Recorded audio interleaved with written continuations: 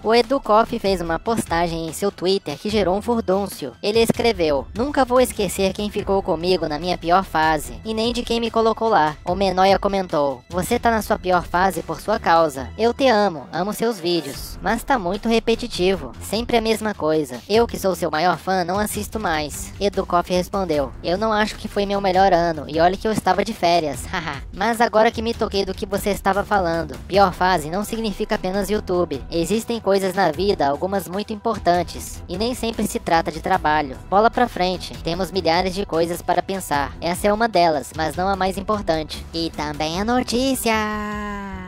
O youtuber Gerson Albuquerque, que há cerca de dois anos invadiu o cotel fantasiado de personagem da série La Casa de Papel, foi condenado a dois anos de prisão, seis meses de detenção e multa. Gerson postou alguns stories surpreso com a condenação. Ele se defendeu dizendo que na época a mídia manipulou o fato e também tranquilizou os fãs, dizendo que o juiz reverteu a prisão em prestação de serviços para a comunidade. Confira. Bom dia, bom dia. Fui acordado agora com a surpresa. Gerson, liga a televisão, tu tá passando, Gerson, não sei o que, fosse condenado.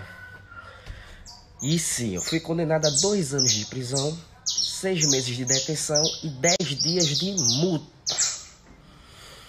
Gente que tava comigo é, na, na cela no dia do acontecido, que matou, que roubou. Teve um que não deu nada, que ele saiu sem pagar fiança, nem foi preso. E teve outro que saiu com a tornozeleira eletrônica. E tipo, é, pra quem não tá entendendo, quem tá chegando agora no meu Instagram, é novo. Eu fiz uma pegadinha, vai fazer acho que uns dois anos. Quando eu fui no presídio com a roupa lá Casa de Papel e me prenderam. Disseram que eu vi várias coisas. Inventaram, na verdade, nem tudo foi verdade. E juntaram as imagens de outras cenas. Enfim, enfim, manipularam tudo. E daí a gente foi preso, saímos um dia depois com 15 mil de fiança e o resultado saiu agora da justiça. Deixa eu tranquilizar vocês, tá? Calma, eu não vou ser preso. Tem lá dois anos de detenção, regime fechado, não sei o que. Mas o juiz também optou por reverter os dois anos em é, prestação de serviço social.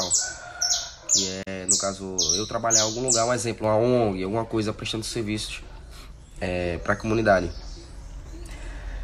E é isso, eu vou falar com meu advogado agora, vendo o que vai dar, não sei se vou recorrer, não sei como é que vai ficar. Então é isso, galera. Essas foram as notícias do dia. Se você gostou, não se esqueça de se inscrever. E até a próxima!